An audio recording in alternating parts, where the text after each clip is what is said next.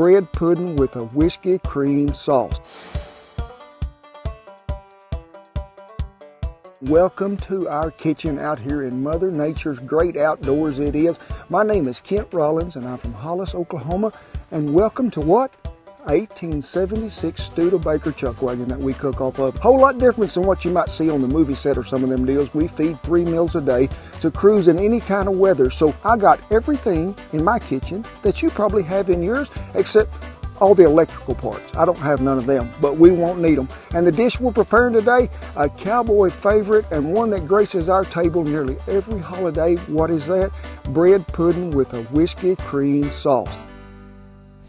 You gotta have some really good bread to start out with. And I have done a lot of experimentation through the years. And what is it? Hamburger bun. So fluffy because there's a lot of air in there. But we're gonna start with what? Some cow juice we are. Do you not call it cow juice? Rachael, that's what it is here most of the time. Next, hen fruit, rooster billets. So go ahead and put three in there and get that mixed up really well.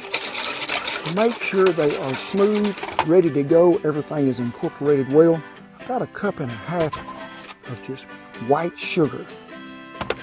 Give that another stir. While we was just sitting over there not doing nothing, we melted some butter on our old wood stove Bertha we did. So about a stick and make sure your butter is not really hot when you do this because you don't want it to set them eggs. A little bit of cinnamon, some nutmeg, vanilla. Give it another stir. It is time to add the bread. It is. Now, you need to tear these off in bite-sized pieces. So usually takes 8 to 10 hamburger buns, but we used accordingly. And you'll see that culinary here, Rachael, and I know you love pups. They are always here to do a good job, they are. You just want to fold this over to where you can keep that bread sort of in its shape and it'll keep its form. You can see that consistency. It's not soup, it is a pudding. Now, a lot of y'all would probably be cooking this in the oven, right? I don't see one out here anywhere I don't. So we're gonna put it in a Dutch oven and we're gonna bake it with some wood coals. So you need to preheat your oven to about 350. I'm gonna drag right out here. Make sure that your vessel that you're cooking it is has been greased already. Just get her mashed around there just right.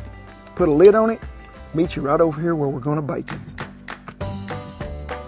Well, the bread pudding is cooking, and what are we talking about now? Some of my whiskey cream sauce. So we got a stick of butter in there, cup of sugar, mixed well, heavy cream.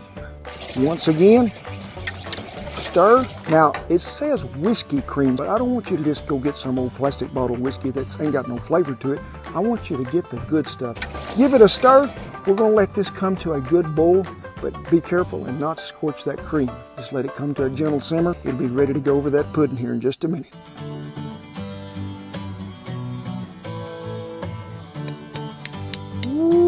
Wee, Rachael, ain't that pretty? I'll be ready to dive in, and I know, Rachael, you have probably done this too, sugar. We got to feed the culinary helpers we do here. Everybody needs some. There's Sade. Everybody's going to get a bite. There comes a time in your life when you get to reap the rewards in which you sowed. That stuff is so good, make you go to town dance every Saturday night, even on Friday. Mm-mm.